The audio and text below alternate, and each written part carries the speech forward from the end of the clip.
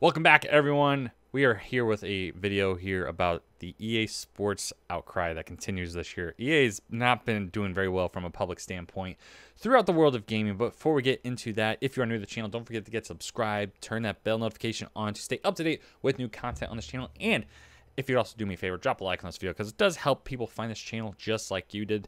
Now, I, I do YouTube here, and this particular channel is just based on the sports gaming world. Uh, we got some bigger things happening here in the next month or so, so stay tuned for that.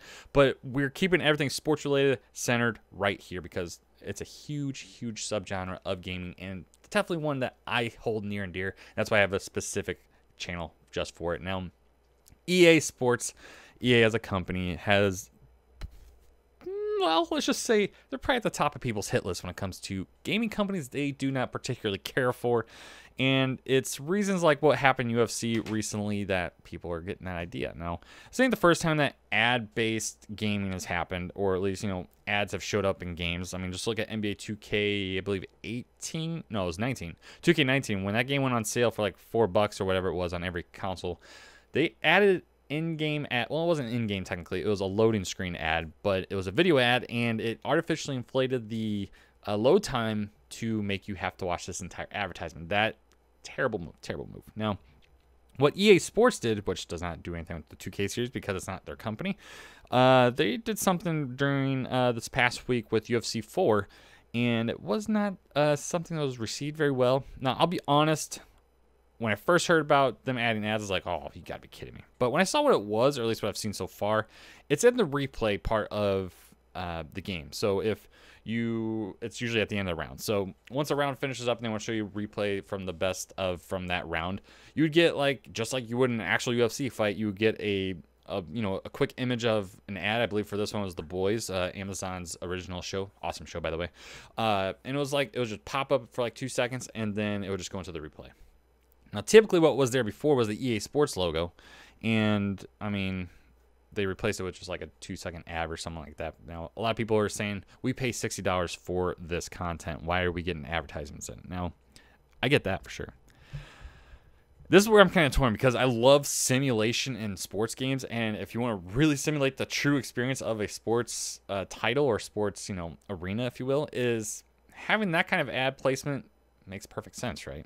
Now, I, I can see both sides of the fence. You you paying for this content, and you're still getting advertisements for it. it. It's like you're paying Netflix for a subscription, but you're still getting advertisements for it, which you don't. But I mean, it, it, I really think there's a good argument on both sides for this. That being said, more people are against it than are for it, and the outcry was big. EA has been one of those companies that people are extremely vocal against, and things changed. Look at Mass Effect 3 a few years ago when the the ending did not uh, take very well. so EA and BioWare worked on an extended cut to add a little more uh, juice to the story, if you will, uh, kind of fill in some plot holes with it.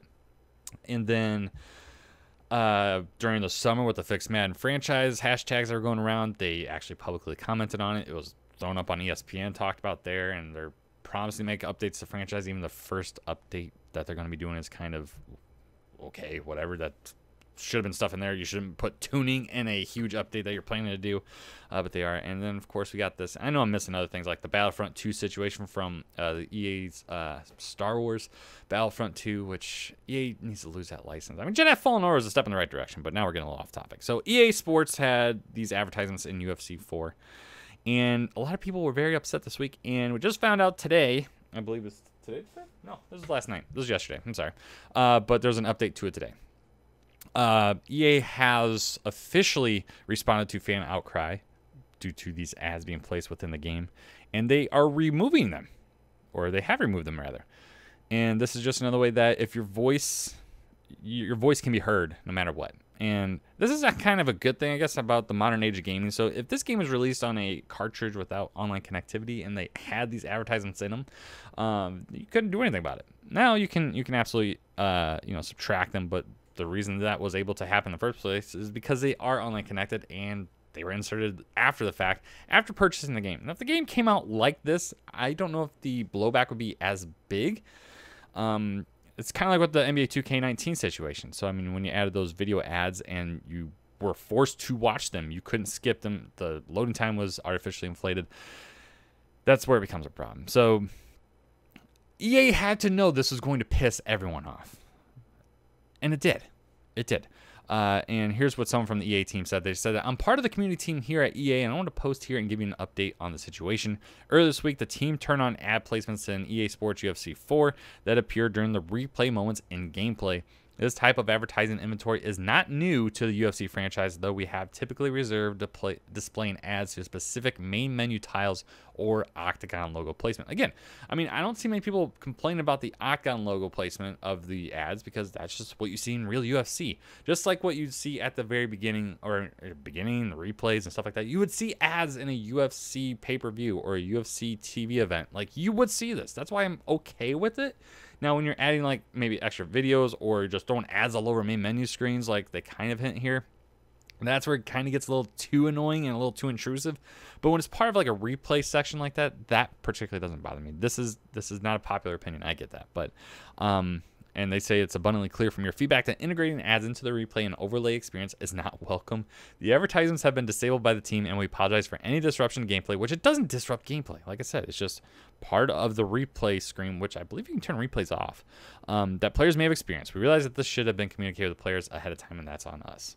Uh, I think you still would have had the same problem. Yes, if you would have communicated ahead of time, it would have shown a little more transparency on it instead of just randomly throwing in there. That is an issue. Uh, just kind of unloading ads into the game like that. But I still think you would have gotten blown back. Like like why are you adding ads into a game we purchased from you? Your your money that you're getting from us should be enough. And I want to know what you guys think because this is definitely something that you can have arguments on both sides. Like I say, I'm more on the side of like I like the added realism to it. Like when you're playing an NBA 2K game and on the side you get uh, next to the score table, those will rotate ads. That makes sense. Or like when you see player of the game presented by State Farm or whatever, that's what you see in a game. Like that doesn't bother me because it integrates into the simulation experience even more so.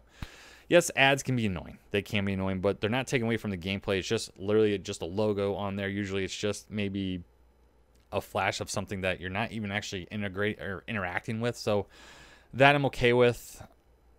But I want to know what you guys think. Do you think these ad placements really that big of a deal? If you so, let me know why. If you don't, let me know why as well. Otherwise, like this video if you haven't already. Dislike it if you didn't. Uh, subscribe it uh, to this channel. Subscribe to this channel. What the hell am I on? I don't know. It's Sunday. I'm ready to uh, just keep relaxing, I guess.